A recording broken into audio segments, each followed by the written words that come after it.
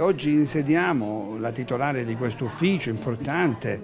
eh, sulle pari opportunità, la consigliera eh, avrà diciamo, il compito di far rispettare le leggi sull'alternanza di genere e soprattutto insieme e eh, in sinergia con la Commissione delle pari opportunità che vareremo tra qualche giorno potrà mettere in campo una serie di azioni progettuali appunto per sensibilizzare su questo fenomeno ancora esistente della discriminazione di genere. Quali sono le mie eh, diciamo, linee programmatiche? Probabilmente il mio percorso si eh, snoderà lungo tre grandi direttrici. La prima, anzitutto la mia eh, voglia di incontrare quanto più possibile, di essere vicina, di essere il punto di riferimento diretto ai cittadini. Perché questo? Perché una delle fondamentali eh, diciamo, funzioni della consigliera di parità è proprio quello di eh, essere il punto di riferimento contro eventuali discriminazioni sul lavoro subite dai cittadini. Quindi io mi propongo come la persona alla quale essi potranno rivolgersi in caso cittadini o cittadine che siano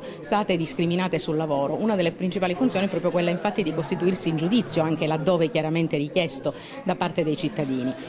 La seconda eh, direttrice si snoderà invece lungo una che, eh, di quelli che posso dire essere uno dei miei più grandi successi forse alla guida della Commissione, cioè la mia capacità di fare reti. Ho fatto reti personali ed istituzionali e continuerò nel mio lavoro come consigliera di parità a fare reti con i CUG, eh, a fare reti con gli ordini professionali, a fare reti con le associazioni sindacali ma anche con le associazioni del volontariato, del terzo settore, con tutti gli enti e le istituzioni con i quali ho lavorato in tutti questi anni, eh, portando avanti azioni positive a tutela della eh, donna lavoratrice, ma non solo, perché eh, ehm, la pari opportunità non è solo una questione di donne tra donne, la pari opportunità è lotta contro ogni discriminazione ovunque essa si annidi, da chiunque sia commessa e contro chiunque sia perpetrata. E questa è la logica unica che unifica tutte le grandi direttrici. Da ultima la mia direttrice programmatica sarà quella di far sentire la mia voce nei tavoli istituzionali nei quali la consigliera di parità siede, perché la consigliera di parità è membro di diritto sia di tavoli nazionali che di tavoli locali locali, nei tavoli nazionali. Proprio domani